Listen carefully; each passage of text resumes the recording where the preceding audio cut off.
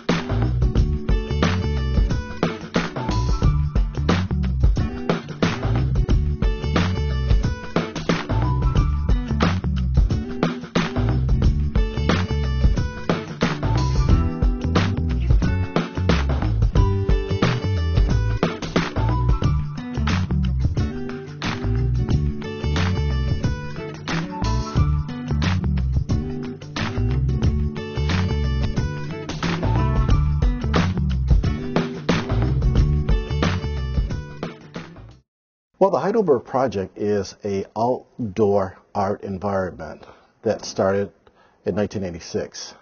I um, saw the need to share art or to take an area that was broken down and to transform that environment into something very whimsical. What for myself, I think that my inspiration uh, comes from a higher source and also using art as a medicine. Uh, using it, it, to create some hope in a broken down area and so that gives me uh, inspiration to use my talent to transform and to create new possibilities. When I first started the project, I saw the importance of uh, working with kids, and it takes me way back. Uh, when I was a kid, my grandfather gave me a paintbrush at the age of nine. And um, so, yeah, kids play a big part in uh, the Heidelberg Project, uh, using art as a way to educate. And so, yeah, Jeannie Whitfield, um, uh, for the last six years, she's been having a Heidelberg summer camp working with kids from, started off locally and then it grew and so now we get kids from all over the world. Well, here at Marshall Frederick uh, Museum, uh, there's a 20-year retrospect. Uh, there are pieces from the Heidelberg Project, and there are also some pieces from my private collection. Uh, Carhood, uh, that body of work is entitled uh, Faces in the Hood, Face of God. It's uh, faces that are painted on car hoods. I uh, found myself playing with religion and trying to understand this entity that we call God, and so I came up with this uh, theme about 15 years ago, painting these images on car hoods. Well, the polka dot. Um, I'm going to be leaving uh, hopefully next month to go to Sydney, and I'm going to be working with the Aborigines in um, in the Outback, and I've been there three times. Um, and if you know anything about the, uh, the Aborigines, their artwork, uh, number one, it's very colorful and they work with a lot of circles and dots.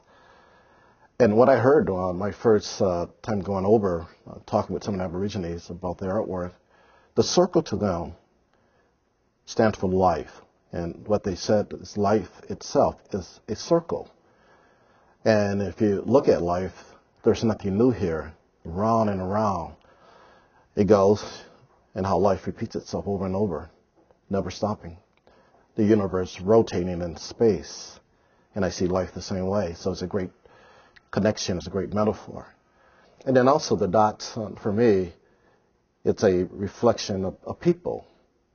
And using the dot, uh, connecting the dots, connecting people, is part of what I do. And that's why I work with a lot of dots very colorful dots. And then the shoes. I see life as a journey. And um, when I first started the Heidelberg Project, I remember a group of homeless people came and they wanted me to talk about their plight. And I took some shoes and I covered the whole street with shoes. It was over 6,000 pairs of shoes. And um, it gave me a chance to talk about the homeless problem here in this country. But also I saw the importance of having city and having government to realize that we are all in this together. And so um, the shoes, the journey, and then I ask that question, where are we really going in life? My favorite piece in this exhibition, uh, if you look behind, you'll see some flag pieces, and I've been playing with that symbol for a few years, uh, taking an American flag and, and playing with it, uh, talking about uh, current issues and using the symbol. So that would be one of my favorite favorite pieces. Well, the American flag, once again, it's a symbol. It's a symbol that is very powerful, and uh, I find myself as an artist. I was told in art school that my job is to take um, um, something or to and, and, and to examine it and to investigate and to take it to another level. And so, in this case here, taking an American flag and exaggerating it somewhat and having some fun with it. But at the same time, using that to talk about what's happening in the world today. And so um, I, I, I have gotten in trouble uh, from using that symbol. But I think that trouble is good because it makes people think, and uh, and I'm having a great time making people think using this symbol. Uh, the photograph that you see, which are Bill Sanders' photograph, that's part of this exhibition, um, Bill Sanders is a photographer that came, and I met him many, many years ago, who documented the, the first phase of the project. And uh, if you don't know anything about the Heidelberg Project, back in 1991, the city demolished part of it, and then again in 1999. So Bill Sanders thought it would be great to have some documentation of those houses that was once part of the project. And that's what you see that's part of this exhibition. There's one house um, which is called the uh, the Penny House, uh, uh, the house that makes sense. And that's a project that we are also working with the University of Michigan and also uh, the U of D Mercy. Both institutions are part of that uh, uh, project. And uh, so I'm excited about it, uh, taking pennies and covering a house with pennies. Uh, the house that makes sense. So how do you take something that was once broken down and make sense out of it?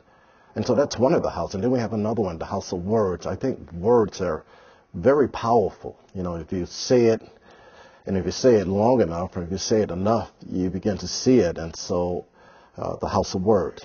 So we're going to hopefully this year develop both of those houses. You know, to answer that question, it has been a lot of controversy um, that has centered around the Heidelberg Project. So I've heard a lot of things about the art, and um, I believe that the true power of art is having people to voice their opinion about it. But I think that all of that is needed, where you have people who love what you do and you have people who hate it. So that's part of the magic. Well, you know what? Uh, as criticism, after 21 years uh, myself, I'm at a point now that uh, I understand a lot of times people don't know, and so when they don't understand, they say things or they uh, or they criticize. My job is to educate people, but I will say that uh, you can also learn from criticism. Well, you know, speaking of social issues, I think that we live in a world today where a couple of things. I don't think people really know how to see. I don't think people really know how to listen. And so the Heidelberg Project, if you were to come to, to visit, it's very colorful. And it's very colorful for a reason because I see the importance of helping people to see and to see the beauty that's right in front of us. Secondly, if you if you was to come to visit, you would also hear music. And I play the music for a, a reason because I want people not only to see this very radical project, but I want them to hear it. One thing that I can think of that I would like to leave with people that would make them think, what would I say? I would say to them, any and everything is possible, and I've proven it because I've taken something that was once an eyesore and I've made it very beautiful. Come and see it.